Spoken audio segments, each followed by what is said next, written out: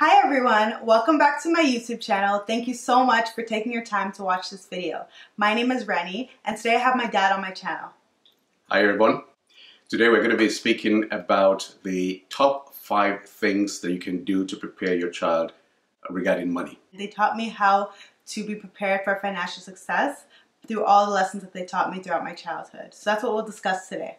Why don't you take it away? What is the first thing that you have learned about uh, money? The first thing that I learned was how to make my money grow. And I learned this through getting an allowance actually. So my parents would give me an allowance every two weeks. And I, of course, I had to do things and contribute to the household in order to get the allowance. So do chores, which really taught me the value of money.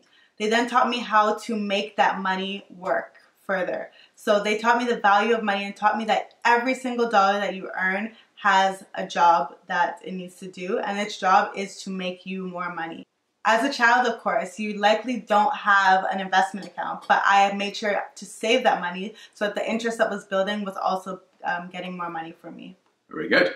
How about the second thing that you learned? Well, the second thing that they really emphasized was the difference between assets and liabilities. Okay. I think that even as an adult, many people don't know the difference between an asset and a liability. Right. And they emphasize that assets are things that put money in your pocket. Right. So even though a car is nice, the clothes on your house, the, the clothes on your back are nice, mm-hmm. those are not assets because they do, even once you drive the car off the lot, it takes money out of your pocket. Right. So that was something that really resonated with me, and I've taken that throughout life. Okay, so let's just see whether we go a little bit uh, further in that.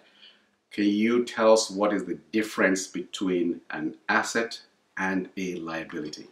So, an asset, as I said, is something that puts money in your pocket. Okay. For example, a property that you have, right. it's constantly generating rental income, which is okay. putting more money in your pocket. Okay. A liability is something that takes money out of your pocket. Okay. So, for example, a car right. is a liability because you have to pay to own the car. You're putting gas in it all the time. You're pay, you're constantly funding it, and it's taking money out of your pocket. Right. It's not a bad thing, right. but it is a liability. Okay, which is very important. Uh, not as Reni is not suggesting that you shouldn't have fun, yeah. but just recognize. Don't call a liability an asset and recognize whether it's an asset or a liability. And I like what one person said if it's on your ass, it's not an asset. Yeah, exactly. If you look at a balance sheet, you always want to have more assets than you have liabilities. Fantastic. So that's something to keep into account. Fantastic. Okay, so what is the next thing that you have learned about money? It's to pay myself first. Okay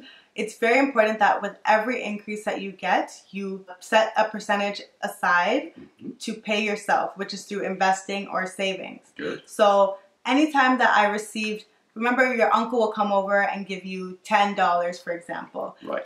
My parents would make sure that $5, 50% of that, would go into my bank account and be accumulating interest. Okay. Then 10% of it, so $1, would have to go to my tithes. Right. This is a principle that I learned from a very young age. So now that I'm making much more money than I was obviously back then, mm-hmm. it's not a big deal to me. I'm so used to tithing and I'm so used to putting half of my income away that it doesn't even make a difference to me. Fantastic. So as an addendum to what Reni has just said, paying yourself first in addition to uh, everything she's, uh, she's mentioned means that when you receive an income or an increase, don't pay your bills first you got to pay yourself first. In other words, you invest in yourself for the growth that actually makes you money. Exactly. Okay, so tell us about the next thing, the fourth thing that you have learned, Reni. So the fourth thing I learned was to buy because I need it okay. and not because I want it. Fantastic. They really emphasize the principle of delayed gratification.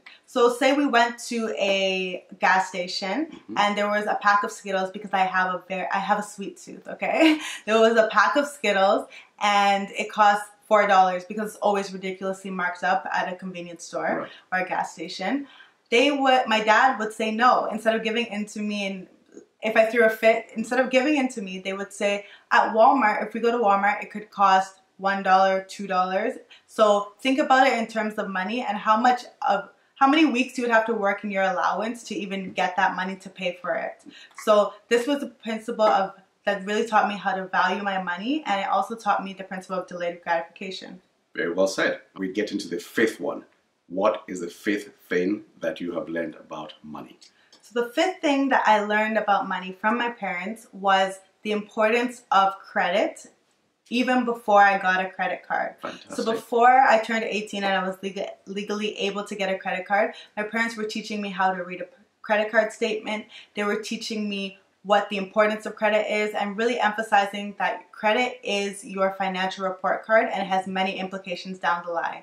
I think that when I got into university, they really push on you, oh, here's a free credit card mm. and um, here's a hundred dollars to go with it so if you sign up with us or here's a free ipad these were there were so many things because they're very predatory practices that they have on people who don't know any better but because they taught me early in advance uh, i was able to get those credit cards get the benefits but also know that i have to pay off my balance every month you pay off the credit cards every month in addition to that uh, you make sure that you do not overextend yourself. You do not uh, take on, if your limit on the, on the credit card, for example, is a thousand, don't go to the full thousand.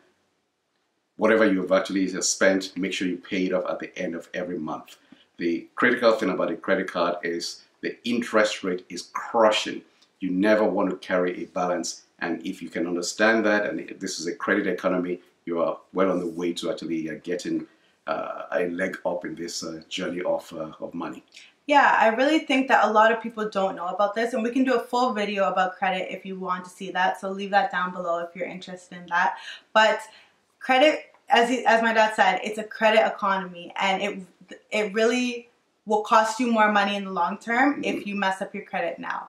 So to summarize, here are five things you can do to prepare your child for financial success. The first one, give them an allowance and teach them that their money's job is to grow. The second one, the difference between assets and liability. The third one, pay yourself first. The fourth one, buy because you need it, not because you want it. And the final one, teach them about credit before they actually are legally able to get credit. I hope this video was helpful. Thank you so much for watching and taking your time out to watch this video. If you have anything that you would like to see from us or from me personally, write it down below. It does not have to be finance related.